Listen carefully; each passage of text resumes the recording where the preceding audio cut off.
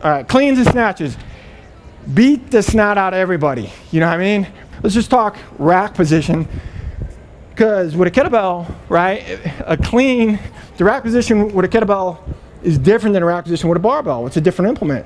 But, but if you think about the principles of what we're trying to achieve, the principles are really the same. Here's the deal.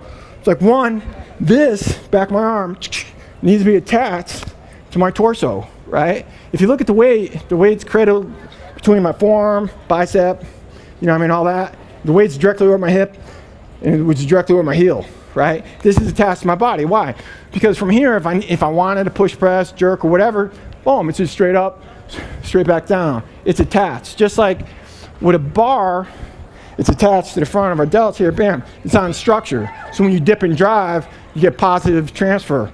The same thing with the kettlebell, because it's a, to get positive transfer, it's got to be attached, right? Protects your shoulder, it's attached to your skeletal, you know, your system, and you dip, drive, and it'll come right off, right?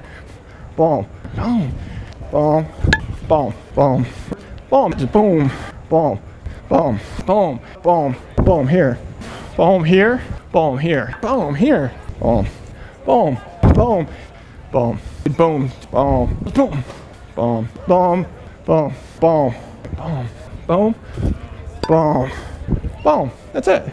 So here's the deal for the, for the ladies, for the guys, I say thumb should be somewhere towards the center of your chest. For the ladies, there, don't go past like where you, like your tank top strap is, your bra strap, something like that. Don't go past that because no good comes from that. The weight will take you over. So between here and there, all right? So two hands, just set the rack position. I just want to look at it real quick. Now here's the other thing too, with the kettlebell versus the bar, which is, which is helpful, is one, when you want to keep a real straight wrist, right? Just like that, good. Keep it nice tight. Here's the thing with, with the kettlebell. If you got somebody who has a wrist injury, right, who doesn't have good wrist flexion, right, there's no way you could get them on a bar. But you could use the kettlebell as a substitute for the bar and still get them uh, training without hurting themselves. You could do barbell, I mean, you could do kettlebell cleans and snatches, especially if a dude has a wrist injury. It's just gonna, it's fine. You don't need crazy wrist flexibility. Uh, two, it also strengthens your wrist. You know, if you're a fighter, boxer, or anything like that, anybody knows a bent wrist is, is a broken wrist when it comes to uh, fighting.